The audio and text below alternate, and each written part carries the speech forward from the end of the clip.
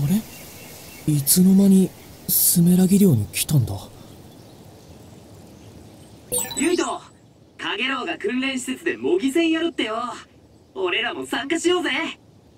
分かった。すぐ行くよ。なんでここにいるんだろう？やばいな。俺無遊病なのか？後で兄さんに相談してみようかな。まだ頭がぼーっとしてる訓練施設って海抜軍本部の中だったよな。俺いつスメラギ寮に移動したんだっけ？覚えてないなんて。気持ち悪いな。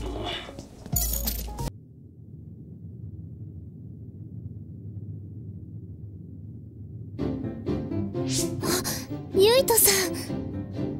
おこれで全員揃ったな。スリーマンセルの模擬戦やるぞ。ルールは簡単。フィールドに一つだけ設置されたフラッグを手に入れてゴールしたチームが優勝。優勝チームにはポケットマネーで用意した豪華な商品が待ってるぜ。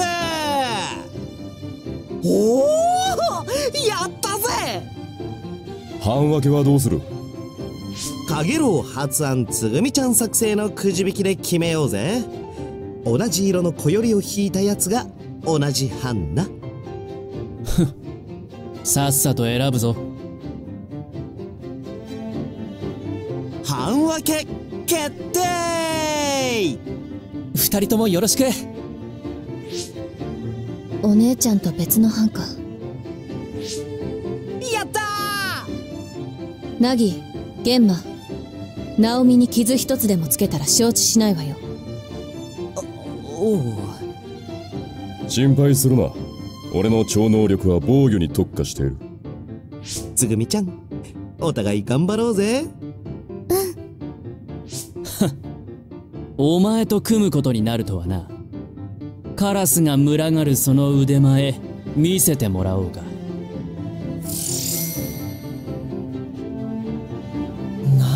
こいつ。うん。知っていると思うが僕はスカウト組の師伝超能力は瀬戸さんと同じ放電だ。僕の足を引っ張るなよ。努力するよ。それじゃ始めるわよ。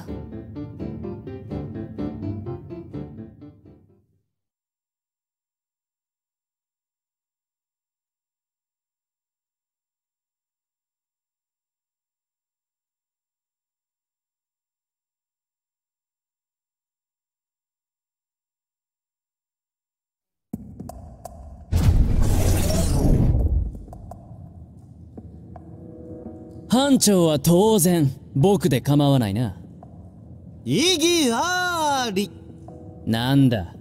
アダルトのお前が班長になるとでも言うのか？シデン君よ。お前さ人間性が今3つほどリーダー向きじゃないのよね。な僕をバカにするつもりか？ほらほらそういうところ今回の班長は穏やかなゆいとくんがいいと思います。え俺ですか？構いませんけど。ゆいとくんもそんな堅苦しい話し方はやめようぜ。よろしく班長。スメラギのお坊ちゃまめ。さぞかし命令慣れしているんだろうな。な、なんだよその言い方はなにシデンお前ユイとのことやっかんでるの？だ誰がそんな低俗な？ああそういやお前今年の配置外で瀬戸隊を希望してたんだっけ？残念だったな。憧れの瀬戸隊長がお前を選んでくれなくて。うるさい！さっさと始めるぞ！あ えー、っと仲良くやっていこうよ。笑顔あるところに幸せありってバッキーちゃんも言ってるし。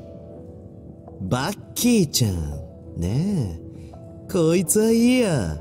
試練笑顔だぜ。笑顔。無駄話をしていないでさっさと行け。よし。とりあえず周囲を警戒しつつフラッグを探そう。毎回思うけど出てくる回がリアルだよな。訓練用のビジョンだって分かってるんだけど。怪だけじゃねえ。空間全てが作り物だぜ。俺の体は本物だよな。おいあったぞ。フラッグだ。でもここは通れないな。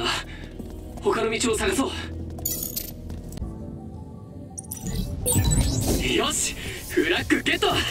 あとはゴールに向かうだけだな。当たり前のことをいちいち指示するな。さっさと行け。おお怖っ。噛みつきまくり。チワワかっつーの。ユイト本当にこっちでいいのか。リーダーなら当然死刑くらい頭に入ってるんだろう。いいから黙ってついてこいって。かまってちゃんままあまあ方向は合ってるはずだから進んでみよう。本当に大したことないな。え何が？超能力のステータスは低いし戦い方も素人同然。なんで瀬戸さんもカレン連隊長もこんな奴をひいきするんだ。うーわシデン君よ。お前さんがリーダーに選ばれない理由ってそういうところじゃねえの？うるさい。僕は別にリーダーになりたいわけじゃない。僕より劣る奴の命令を聞きたくないだけだ。人間性は劣ってると思うけど。黙れアダルト。おいユイト。この先気をつけろよ。僕が班長ならゴール近くの死角で待機する。どういうことだ？つまりフラッグを探し回るよりゴール前で奪い取った方が効率がいいってわけだ。ああそういうことか。でも訓練なんだし。おっとおいでなさったぜ。重ねたちだ。やっぱりな。重ねならこう来ると思っていた。迎え撃つぞ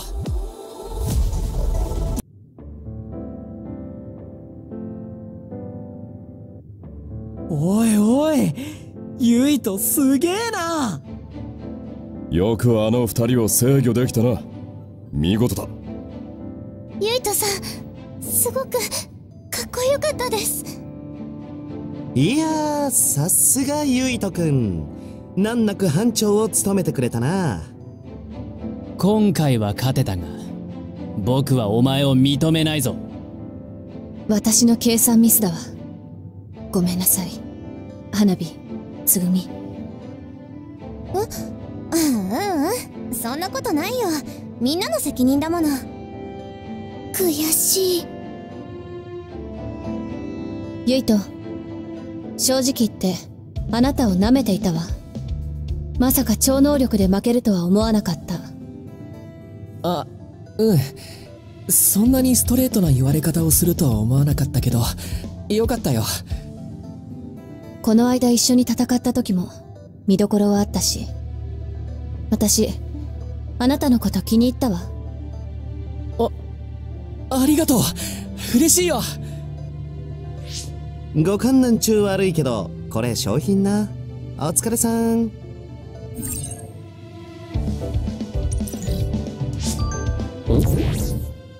父さんからメッセージ？海抜軍への正式入隊おめでとう。カイトから話は聞いている。やはりお前の海抜軍入りには反対だが怪我だけはしないようにな。海抜軍の一員ともなればお前も一人前だ。これを機に家のことや亡くなったお母さんのことも話しておきたい。カイトも誘って今度一緒に食事でもしよう。こちらのスケジュールが調整できたらまた連絡する。ゆいとどうかした？ああいや珍しく親父からメッセージが来たんだ。そう。それじゃあ解散しますか。みんな参加してくれてありがとな。かげろう珍しい。お？何かかげろう訓練嫌いでしょ？せっかく新人が来たんだからかっこいいところ見せたかったんだよ。今年はまた一段と可愛い女の子が多いからな。くじもズルしてた。し新人くんと組んで腕前を見てみたかったんだって。やっ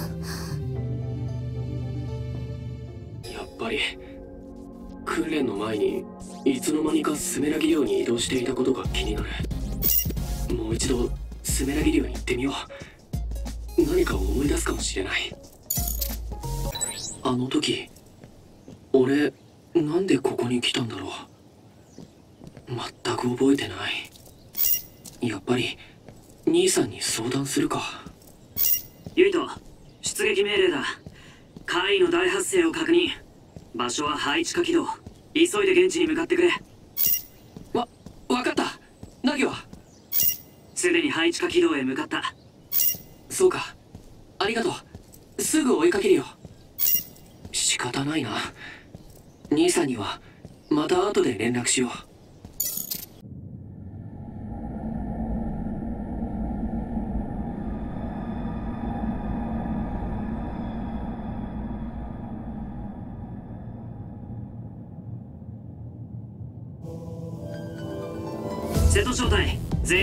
しました。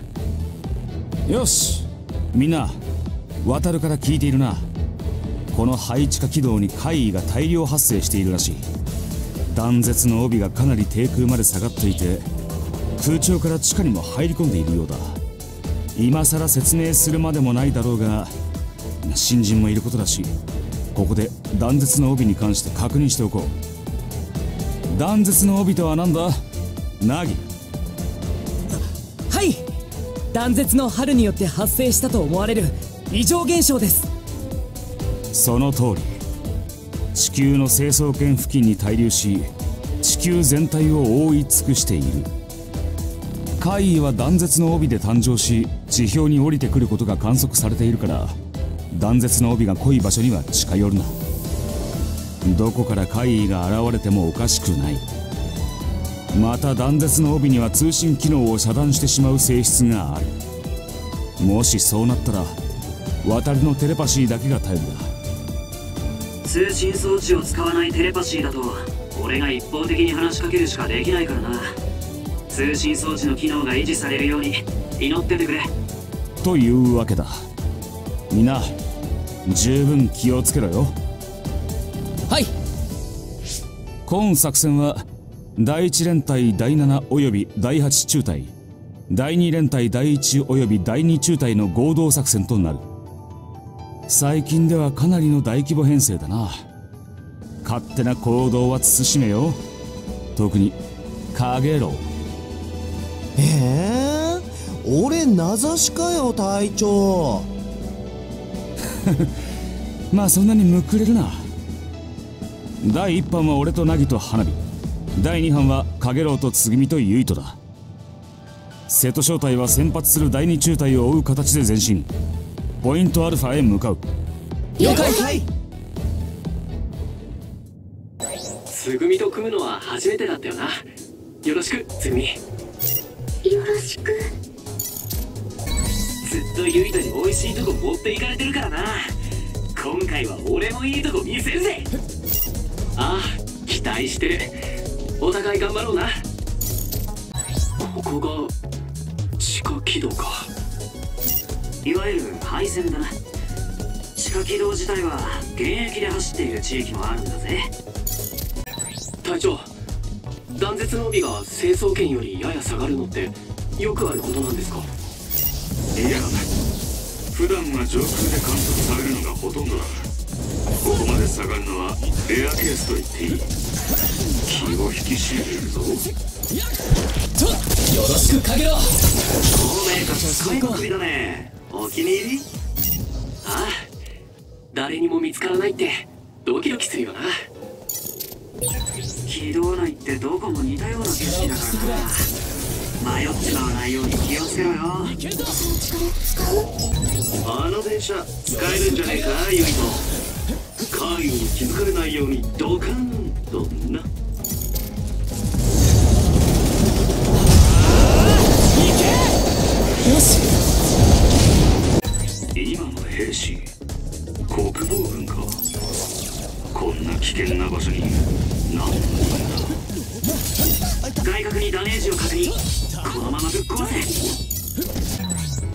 強化状態オペレーターのハルカから救援要請です。ポイントアルファにて敵襲強化状態が孤立している模様ダイレクトによる通信障害が原因で現実の操作できないそ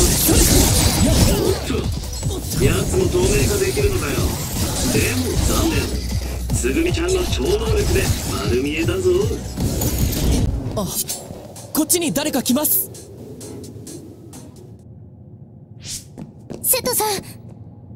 ナオミはるかから救援要請が届いたが何があった？はい。ポイントアルファ上部から怪異が降下。到着予定の他の部隊の姿も見えず玄馬隊長代理からも瀬戸正体に救援要請を出すように言われてきました。1分後に怪異が3体12時の方角から吸収してきます。敵の最初の攻撃は高速移動から背後に回っての投げ払いです。え？今のはどういう？私の超能力は短期未来予知です。マジだ。隊長カイがポイントアルファに向かって集まっています。瀬戸隊の現在地にも3匹接近中。すげえ。ナオミ俺とサスをつなげ。みんな怪異の大掃除だ敵を殲滅しながらポイントアルファに向かうぞ。了解。重ねちゃん。無事でいい大丈夫だってな。おじゃ重ねは訓練生続きだよ。ってやるじゃねえそういうの。知ってるよね。お姉ちゃんなんだから。バカだな俺ありがとうございます。エイツさん隠れて隙を作るつもりだなどっちがすごくなこっちも姿を消そうぜいたぞ強化隊だ隊長ここは断絶の帯の通信障害がひどいこのままじゃこちらとの通信が途切れ渡るなんとか通信を維持しろ他の部隊はいないのかポイントアルファの生存隊長天井にひびがくそカッコ回避だ強化招待3回しろ上から来るぞ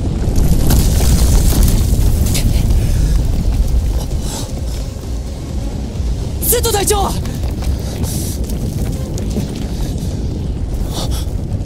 あつぐみ崩れるぞ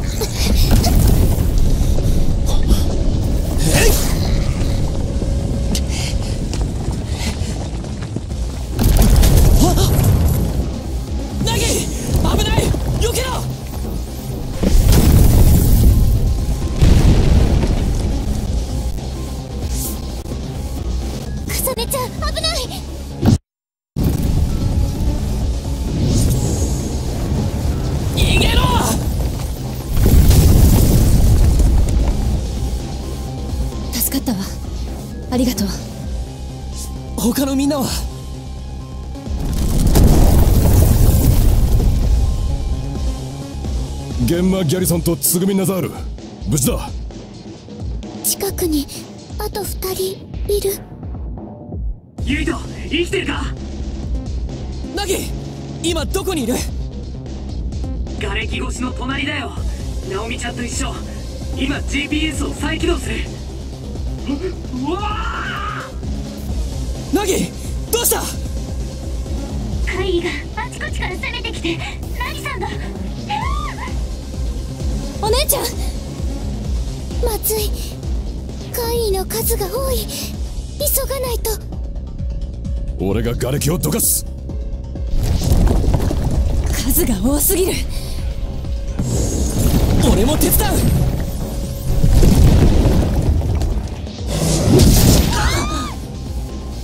お姉ちゃん。ナオミお姉ちゃん大丈夫。大丈夫。ちょっと足を痛めたくらい殺すわ。おい頭冷やせよ重ね。あいつを潰せば勝手に冷える。そっち任せたわよ。分かったよ。つぐみ。了解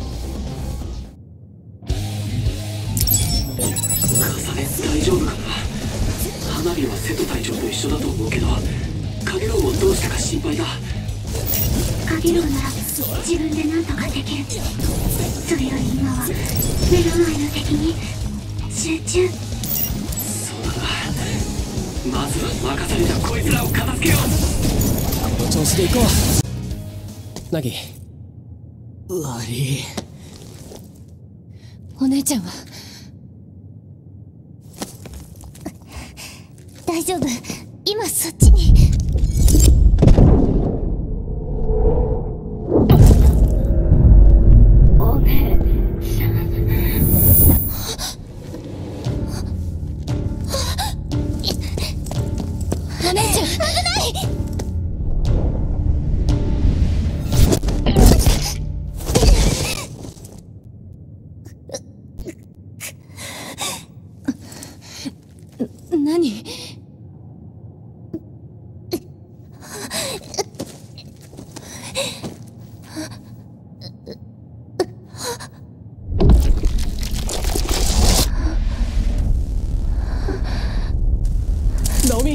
どうした？ナオミちゃ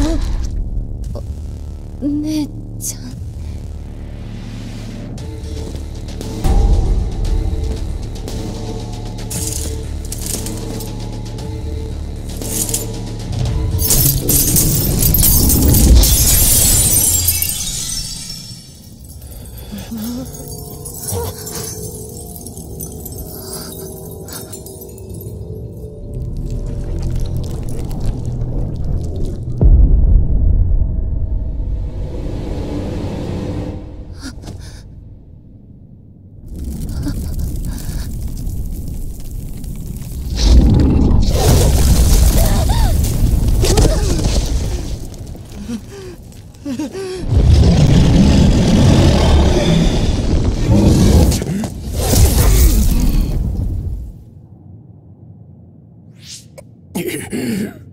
奴は力を貸せ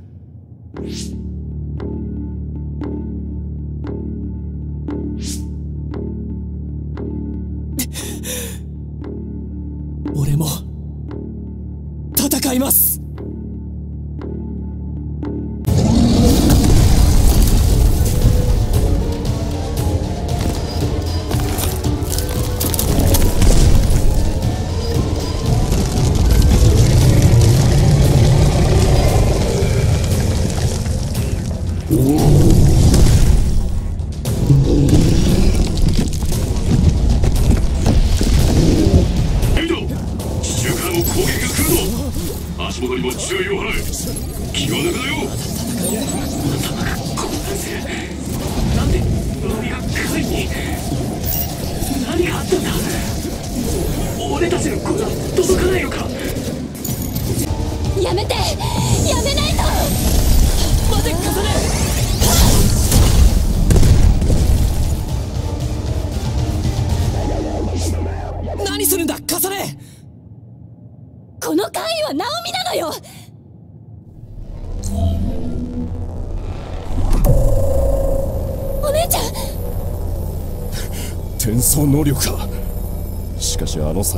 サイズを転送するなどよほどの超能力者でないと。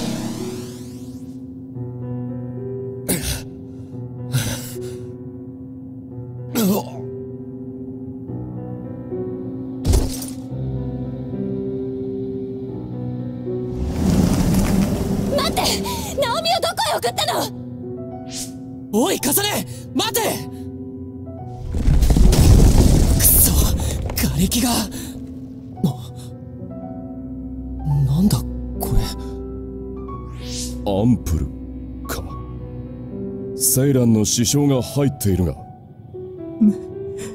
なんだよ。今のは。ナオミちゃんがナオミちゃんが。ナギ落ち着け。落ち着けってお前落ち着いてられるのかよ。あれは何なんだよ。俺だってわけわかんねえよ。わかんねえけどどうにかしないと。悪い。パニックを起こしてる場合じゃないよな。でもどうする？これから。この中で一番キャリアがあるのは。いや俺では無理だ。強化隊の指揮を預かっておきながらこんな状況を招くとは。ならこうしよう俺は重ねを追いかける。凪は前線本部に行って今起きたことを報告してくれ。俺だってユイタと一緒にえっその足じゃ無理だ。つぐみ凪と一緒についていってやってくれ。通信障害が起きてて本部に繋がらないみたいだから。分かった。ユイタ気をつけろよ凪もな。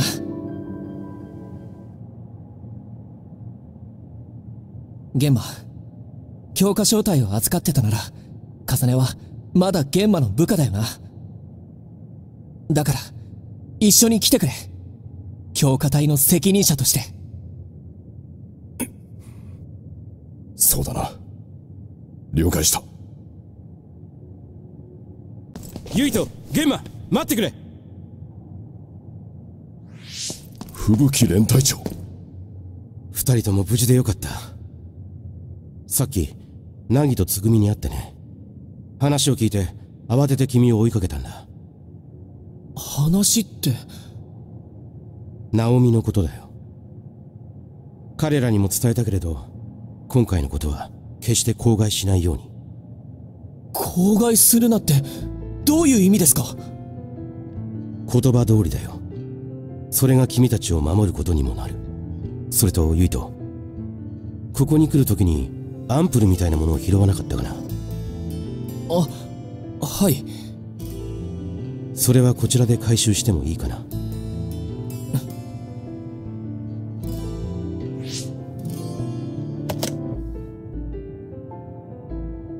そのアンプルは何なんですか？それとも口外できないものですか？このアンプルは簡単に言うと超能力の強化剤だよ。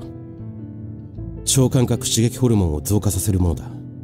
セイランで開発しているとの情報は入手している。ただこれは海抜軍の機密事項だ。これ以上は言えない。隠し事ばかりなんですね。そうだね。残念だけど人間が集まると色々な思惑が生まれてしがらみになるんだこんな窮屈なクモの巣には近寄らない方がいい。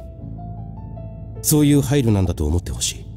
とにかく二人とも一緒に安全な場所へ行こう。いえこの先に重ねがいるんです。ナオミを追いかけて。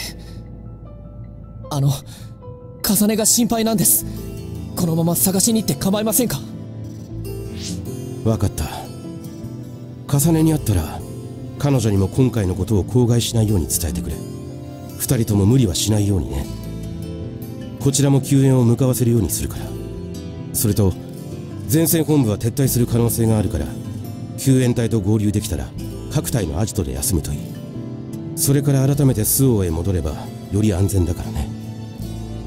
くれぐれも気をつけるんだよ。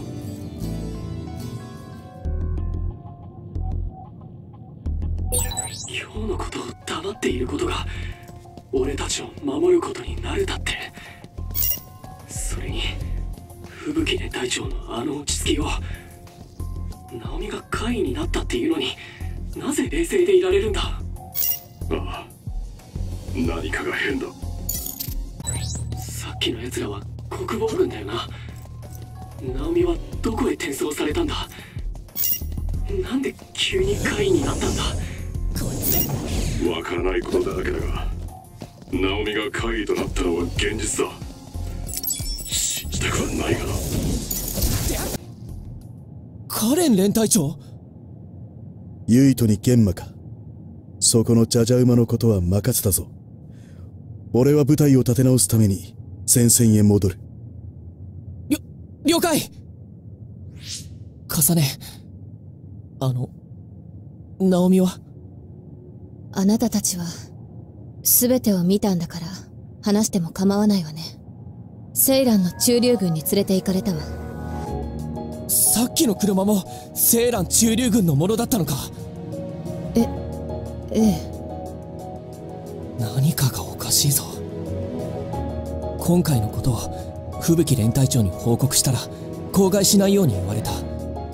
重ねにも口止めしろって。カレン連隊長も同じことを言っていたわ。なぜ口止めするの？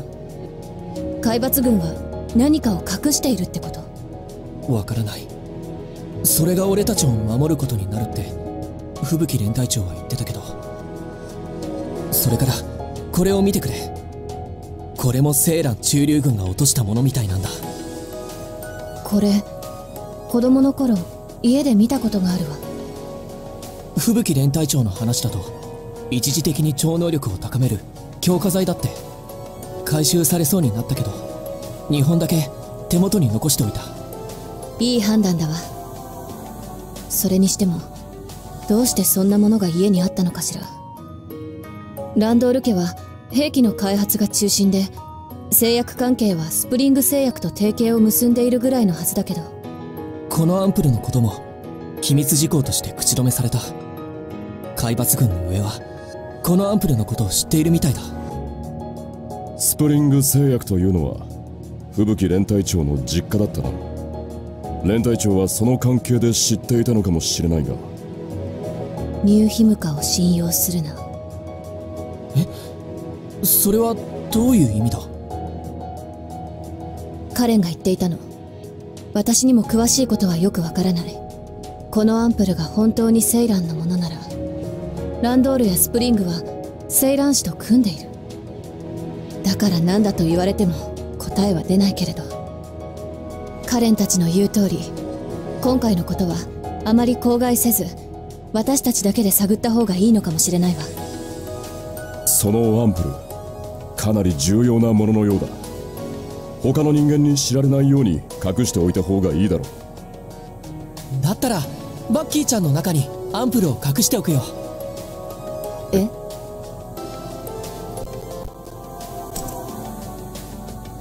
裁縫が得意だとは思わなかったわ。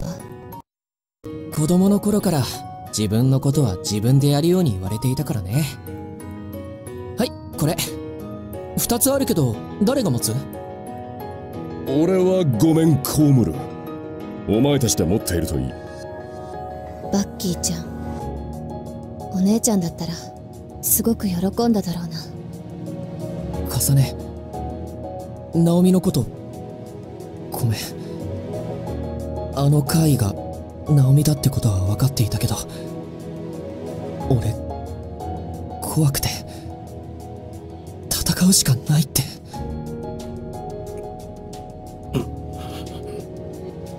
やめて。私はナオミを取り戻す。今後その邪魔さえしなければそれでいい。綺麗事かもしれないけど。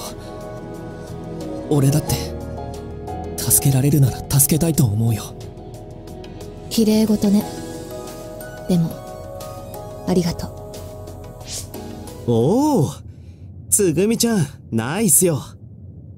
みんな迎えに来てやったぜ。あれナオミちゃんは？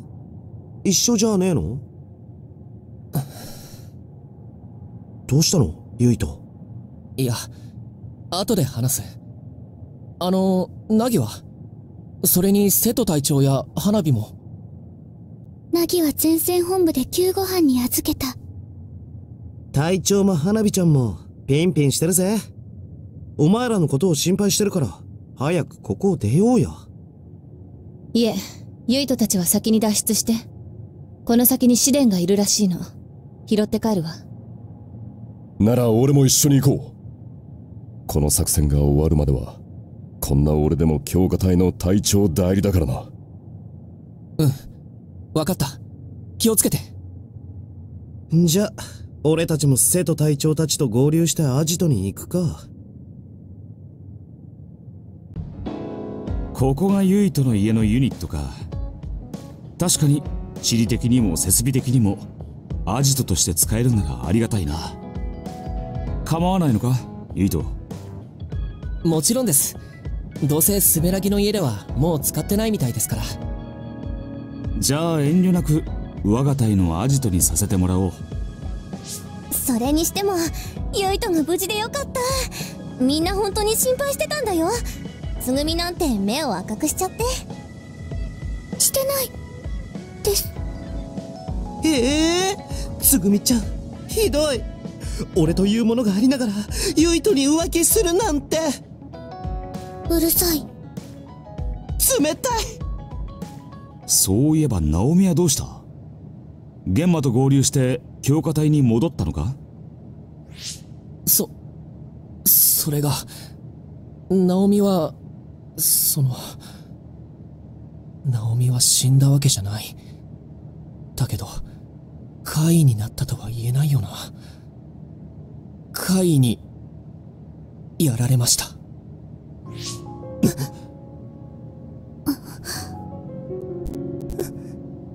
嘘。ナオミがだってナオミはカザネの次ぐらいに優秀なエリートでそれにすごく優しくて。それでユイとは元気がなかったのか。辛かっただろう。同期の仲間を亡くすのは。皆。一度は同じような経験をしている。だから元気を出せとは言わないが飲み込んでいくしかないぞ。海抜軍で生きていくためにはな。はい。よし。しばらくここで休んでいこう。俺が許可する。その間に心を整理しておくんだ。悲しいが怪異は待っちゃくれないからな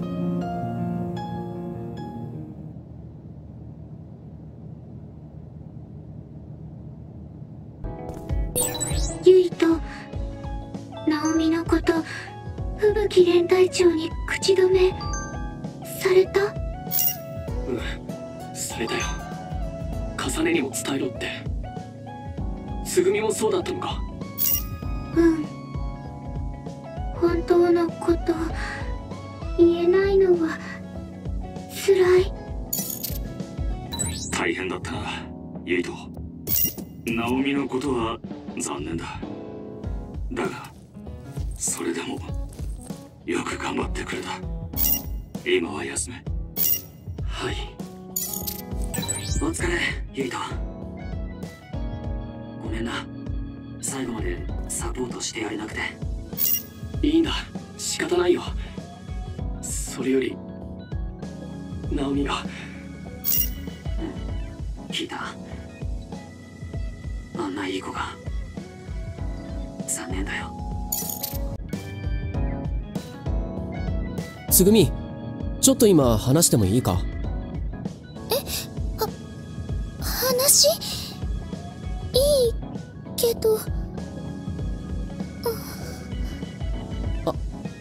もしかして忙しかったか？なら別に後でいいよ。ち違うの。大丈夫。ただ心の準備ができてなかったから。ごめんなさい。あいやそんな。全然謝ることじゃないって。俺の方から話しかけたんだからこっちこそごめん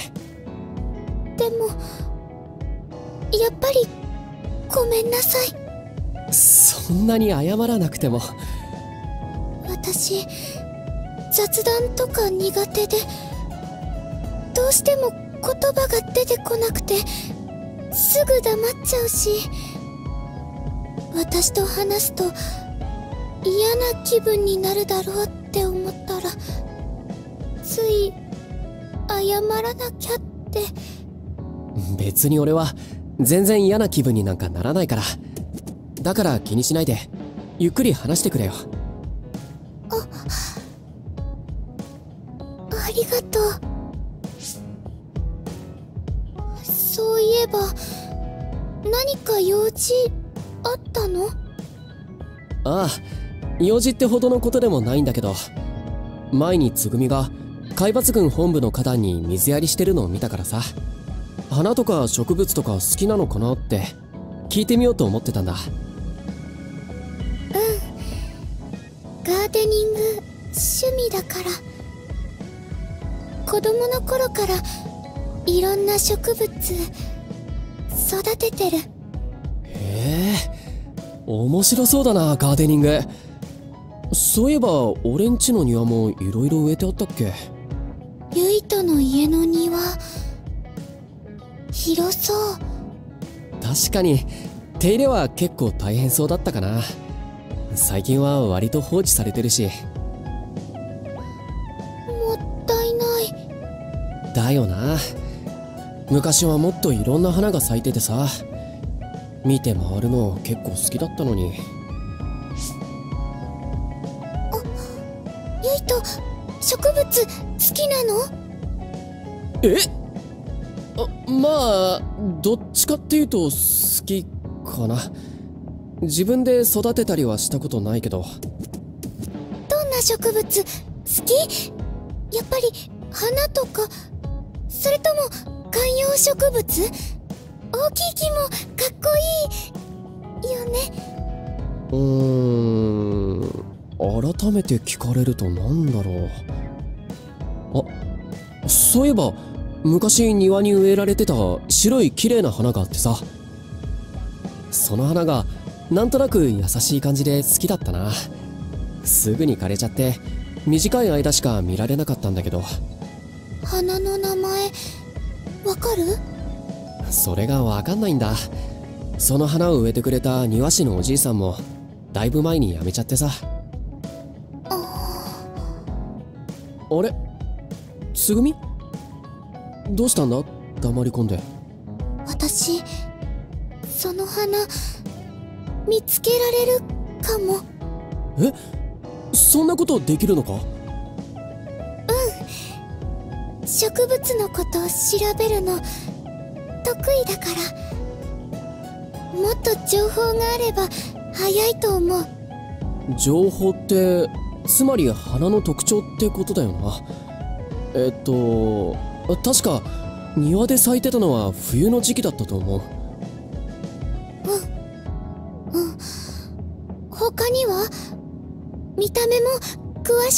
えて。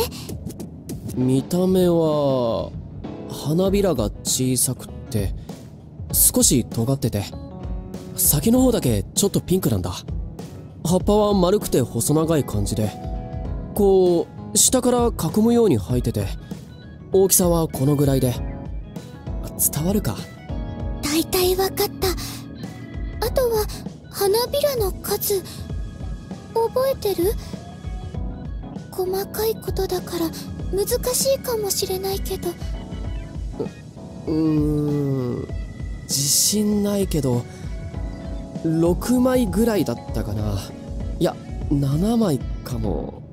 うん7枚だ。多分。ゆいとよく覚えてる。それだけ聞ければ十分。調べてみる。名前分かったら教えるから。ありがとなつぐみ。俺もあの花がまた見られたらすごく嬉しいって。おいつぐみ。違う。こっちは必神系もっと小さい。臨星の。聞こえてないみたいだ。よっぽど植物のこと好きなんだなつぐみ。熱中してるみたいだしそっとしておこう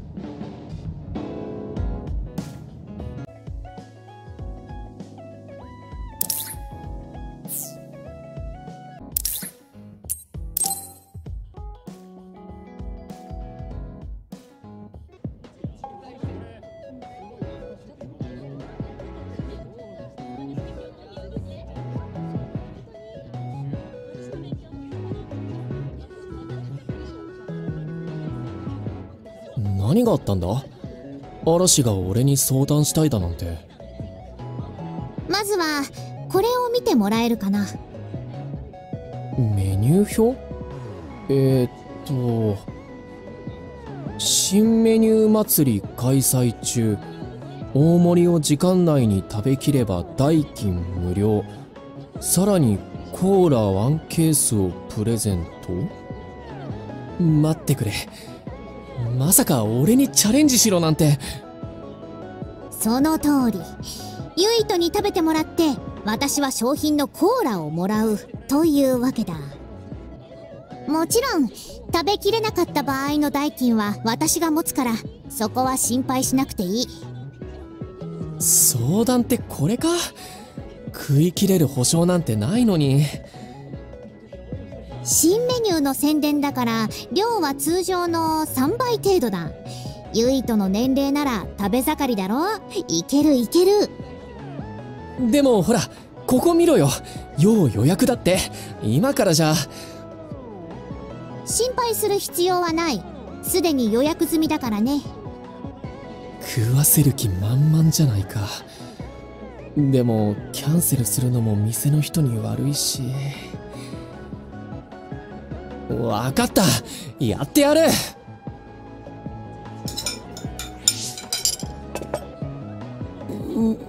苦しい。さすがユイト。いい食べっぷりだったよ。私が見込んだだけのことはある。とはいえ少し無理をさせてしまったな。お詫びに次に会う時には好きなものをおごるよ。いや食い物はもういい。そうだ。だったら今サスの調整をしてもらえないかな。サス私が？嵐はこういうのが得意だって聞いたことがあるからさ。うーん。ダメかな？無理にとは言わないんだけど少し違和感があるような気がして。仕方ないか。君のおかげで私も利益を得たからな。利益ってコーラか本当に好きなんだな。君の調整を断らない程度にはね。ではすぐに始めよう。面倒なことはさっさと終わらせるに限る。悪いな無理って。別にいいさ。しかし君は思ったよりもせっかちだな。サスの調整なんて後でじっくりやればいいだろう嵐に見てもらえるのはいい機会だしなるべく早い方がいいと思ったんだ。もしもさすがうまく使えなかったら戦闘の時に問題だろ。みんなに迷惑がかかるのは嫌なんだよ。君そこは最初に生存率自分の命に関わると主張するものなんじゃないか？それではまるで自分の命は二の次とも聞こえてしまう。